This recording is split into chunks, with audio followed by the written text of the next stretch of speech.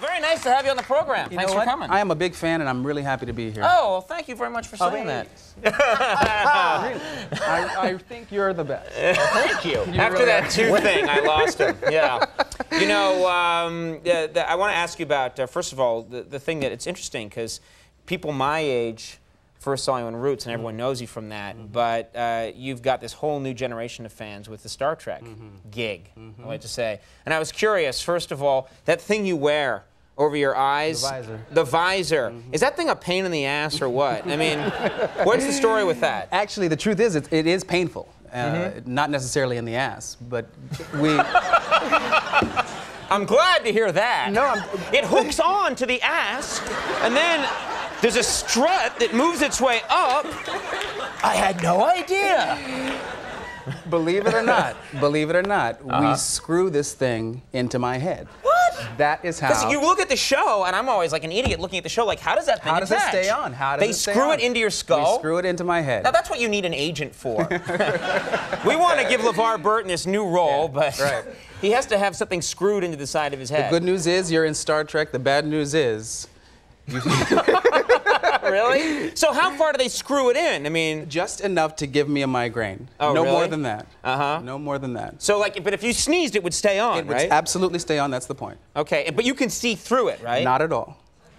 you can't see through it. 80% of my vision is taken away when I put that. That is so annoying, I would think. It- it- so you just have has. to rely, like when you're eating food in the commissary, that you know you need someone to tell you it looks okay today, LeVar. Well, well, Conan, I, I I don't wear it off the set. What? I, You uh, mean you're not really that character? Oh, major bummer. What, uh, what was uh, what was it like uh, uh, getting to gr- coming to grips with the fans? Uh, uh, fans uh, for Star Trek shows, the original and the subsequent shows. They're, they're just so rabid. I mean, it's great. They're very loyal, but they're incredibly like devoted to probably to the point of distraction. Are they hard to deal with? Well, I I prefer to refer to them as as really enthusiastic. Mm-hmm. I, I, so rabid, Ra- likening them to a, a dog with a frothing mouth is, is probably not a good thing. Well, I consider that these are the people that are putting my children through college. Bingo. and and so I, I, I tend to be nice to them. I mean, mm-hmm. sometimes they can be very intense, though, very Yeah. intense. I, I, would- I, I don't do a lot of them, but you know about these Star Trek conventions. Um, yes, I do. yes. I actually, I, I've never been to one, but I, yes, I understand. They're very, they're quite intense. well, there was there was a woman once that came up to me dressed in Klingon garb, um, a rather large woman that insisted that I sign her breast. Sign her breast. Sign her breast. And we all know the, the Klingons. They have easily removable garb, up top. that's yeah. right, that's right. And so, did you sign the? Well, I was faced with this massive They were large. Breasts, Right. yeah. So you started writing a letter. Dear ma'am, it's nice to meet you. I, I Continued on next breast. I signed it. I You signed it? I, any opportunity to please a fan. Uh huh. good for you. You're a good man that way. Let me ask you. Uh, you know, it's it's funny because I said in the intro, it's it's been 20 years Mm. since Roots, which is which is amazing because. Where were you?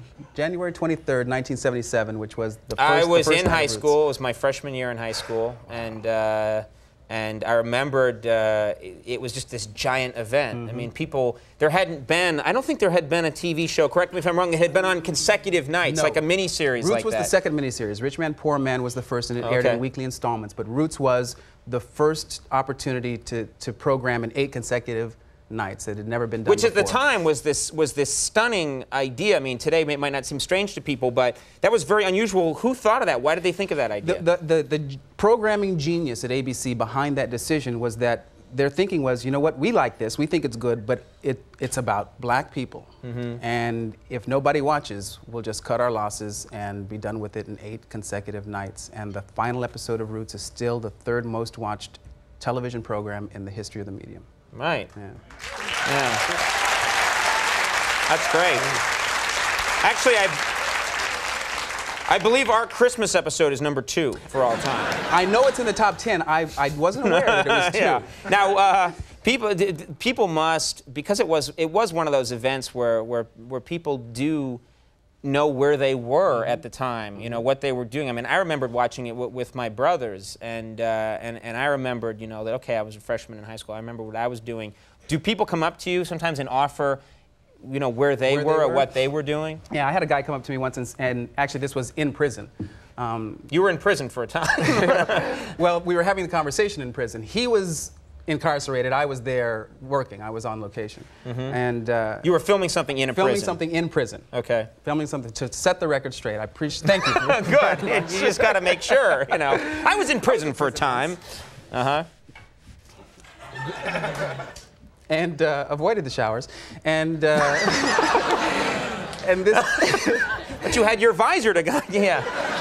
Oh my around. God. Uh, he this this was a paper hanger, a guy who made a living uh, writing bad checks in shopping malls, and, and uh, Roots aired in January originally uh, in, in '77, and, and this guy told me that he actually cut his hours short. He had a whole crew of people that were out in the malls Forging doing credit credit card forgery and, and bad checks, and he would pull them all out of the malls early so everybody could get home to watch Roots. that's amazing. A criminal, a career criminal, It- it- cut things short. That's a- everybody watched Roots. Yeah. That- uh, now tell us about. Uh, you've written a book. I don't know how you find time to do Hmm. these things, but uh, Aftermath, a novel of the future. I Actually, I, I, I wrote this, I started this project just after my daughter was born, Mm-hmm. two and a half years ago. And I wasn't getting any sleep anyway, so.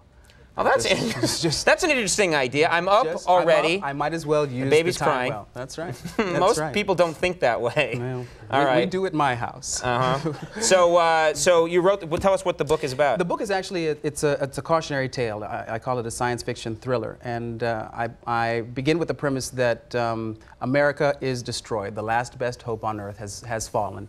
Um, the New Madrid fault in the Midwest. Uh, erupts with a 9.1 magnitude earthquake, and NASA collapses and creates some economic factors that contribute to the fall. And uh, the race war is really the straw that breaks the camel's back. America is engulfed in a civil war, and uh, and that's just the first That's two an interesting pages. idea. Uh, that's the first that's two the pages. first two pages, yeah. Then it gets. Then it really gets quiet. Everyone just has coffee for the rest of the book. that was wild, man. Those first two pages. Tell me about it. Uh, that that that sounds uh, that sounds fascinating, though. People should check this out. Aftermath. It's it's out everywhere. It is book. in the bookstores as we speak. All right. Well, thanks so much for coming by. It was really nice I- talking to you. I love being LeVar here. Burton, Thank you very everybody. Very nice to meet you. We're going to take a break. We'll be right back. Stick around.